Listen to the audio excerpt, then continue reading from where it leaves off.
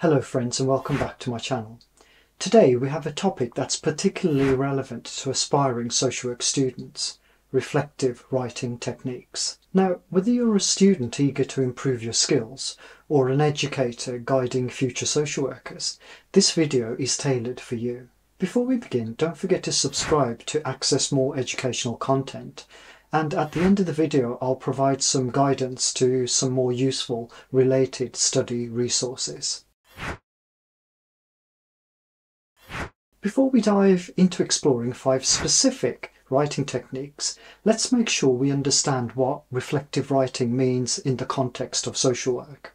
For social work, reflective writing can work as an important tool for self-awareness, professional growth and critical thinking. To explore how you can undertake reflective writing, let's jump into technique number one, grasping the concept. Imagine you're a second year social work student and you've just completed your first placement. In this situation, reflective writing means grasping what you will look back on in terms of your interactions with clients, considering ethical dilemmas, and exploring your personal growth. So your reflective writing should involve more than just descriptively recounting events. It should involve exploring, understanding, and writing down the impact of your actions and your decisions. Now let's discuss technique number two, using a structured approach. As a social work student, you can benefit from using models like Gibbs' reflective model, or as in this example, Kolb's experiential learning cycle.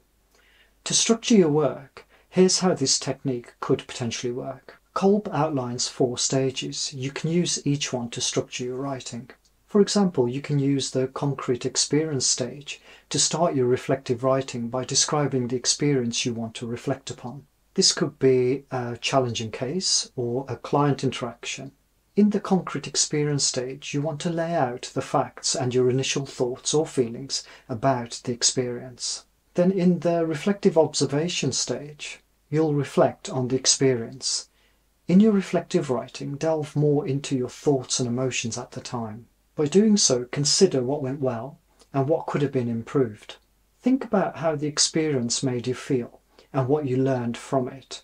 In this reflective observation stage, your writing should be about self-analysis. During the abstract conceptualization stage, you should seek to connect your experiences to relevant social work theories and concepts to think about how you can apply what you've learned in the future. In your writing, discuss how these experiences have influenced your perspective. Make sure to share any new ideas or insights you've gained based on your experiences and reading. For example, you might realise that active listening is crucial in social work. So you could draw on reading and research to demonstrate how you can make a conscious effort to improve this skill. Finally, in the active experimentation stage, consider how you can put into action what you've learned to improve your future practice. In your reflective writing, you can propose actions you can undertake in your practice based on your reflections and reading. This is where you translate your insights into practical steps. For instance, you could outline that you will attend workshops on active listening to enhance your skills and then describe how you would apply this learning to adjust your listening skills to the different circumstances you may come across in the field. Now let's explore technique number three, personalising your reflections. I want you to imagine that you're passionate about child welfare and social work. Don't just present the facts in your reflection, personalise them. Share how your personal experiences, values, and beliefs influence your approach to working with children and families. Here's an example.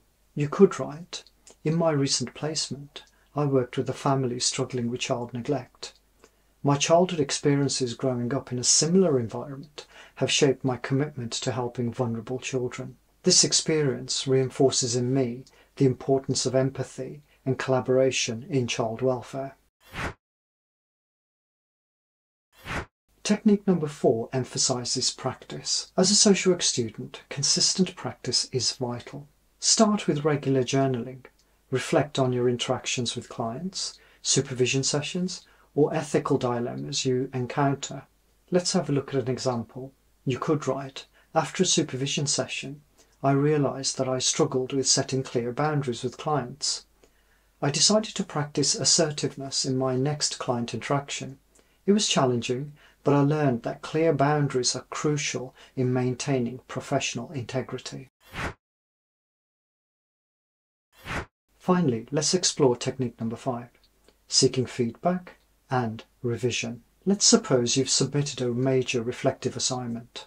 After submission and marking, seek feedback from your peers and tutors. Here's an example of how a revision based on feedback might look for your next piece of reflective writing. After submitting my reflection to my tutor, I received feedback about the need to explore ethical considerations more deeply. I'll revise my future reflections to include a thorough analysis of the BASW codes of ethics and its relevance to my experiences. This should strengthen my reflection and my understanding of ethical practice in social work. And there you have it, five valuable techniques to help social work students excel in reflective writing. Understanding the concept, using a structured approach, personalising your reflections, practicing consistently and seeking feedback will elevate your reflective writing skills in the field of social work. If you found this video helpful, please give it a thumbs up and don't forget to subscribe. If you're interested in more study videos, I've created a playlist that you can access by clicking this link here. I've also added links to some useful resources in the section below. Do send me any ideas for future videos by leaving a comment below. Remember, reflective writing is a powerful tool for self-improvement and professional development in social work. So keep honing your skills and you'll be well prepared for the challenges and rewards that this vital profession offers. Until next time, keep reflecting, keep learning, and keep making a positive impact in the world of social work. Take care, and I look forward to seeing you soon. Bye.